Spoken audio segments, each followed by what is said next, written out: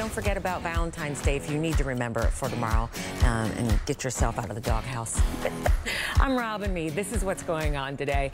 You know, news that the NFL player, the Browns player who attacked an opponent with his helmet, will be back on the field. You're going to see him playing. The league announced it are scamming parents and grandparents into handing over money. The one thing the FBI says, you want to know? Well, you know my mom. Okay, I think there were all- a few choice words and was like, yeah, right. But anytime you bring in a loved one, it makes you, you stop a beat and go, oh, yeah.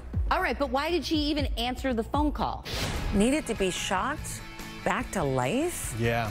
Boy, that is dire. Yeah, it really is. I mean, the Blues say that Jay Bouwmeester is doing well, so that's a good thing. He's still in the hospital recovering, and he's undergoing tests to determine what actually happened when he had his cardiac episode. It was a frightening scene to for, for LeBron to say it's probably the best thing he's ever done. That's think it speaks volume about where his heart is. We talk about his competitive nature and how incredible you know, he is as an athlete, but what he's doing for those kids at that How many school, again? 193? 193 of them.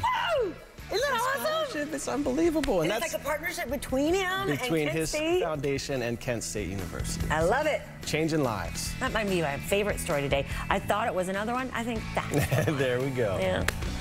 Um, newly released video show.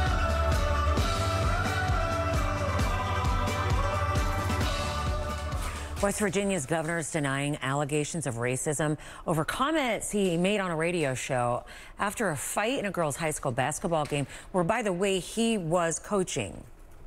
The opposing team's coach hasn't commented. The state's high school athletic association says it is investigating. Ooh, Houston Astros players are finally ready, apparently, to apologize for their sign cheating scandal today together. Wow, Coy. Yeah, this morning they are set to have a press conference ahead of spring training opening up, and so they're they're. How they're feeling this morning. I you can see it on their faces. I know. Yeah. I love that they said that these kids they have all shown the grit, determination, and dedication that is worthy of them receiving a scholarship to go. Yeah, I mean it's just incredible what LeBron's doing. And they don't even have to go from far from home. Yeah, Kent that's State, right, right? right there. It's a car ride. Yeah. If their parents don't want So to live good. on campus, they don't have to. Oh, I shouldn't say that, right? Right, Because right. most people want to live on campus, don't they?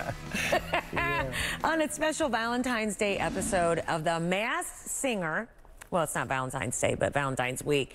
So the legend inside the costume told Billboard.com, this is the weirdest thing as an artist that she has ever done.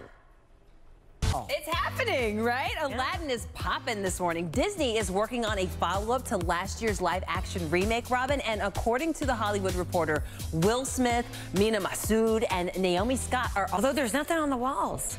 Oh, I didn't even notice that. At least on the portions that we were showing. Mm.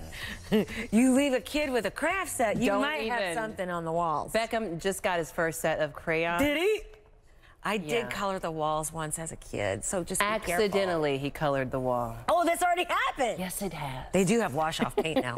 um, so in the exist publicly apologizing to Gayle King of CBS after he admits that he overreacted about the parts of her interview uh, where she asked about Kobe Bryant that got edited together and put online without her knowledge. She was interviewing um, a Lisa Leslie. Lisa Leslie, a basketball star, and said this was a wide-ranging interview. And and they usually are, aren't they? When you sit down and interview someone, it's at least what, 20 minutes or so, and sometimes those get cut down to maybe three minutes. that other people probably make, I guess, the male jumpsuit. Yeah, they do. A romper means they're shorts. So anyway, hey, Show, show it. that's a funny story. I mean, unless you're a fan of it, what I mean is Yeah. Kind of funny. Get it how you The live. male romper. It. Yeah, Yeah. yeah. Well, I mean, there's plenty of, of companies that make the adult, they, they call them onesies. Mm-hmm, you mm-hmm, know, like mm-hmm. they're like pajamas, kind of. Mm-hmm. Or they're kind of baggy. Sometimes they have feet in them too. I like Yeah, those. yeah. Have you ever flood the Valentine's Day for somebody? What about pretending that you have a gift for your spouse when you don't? You're borrowing it from the office. The culprit in this Cupid Confessions wishes to remain unnamed.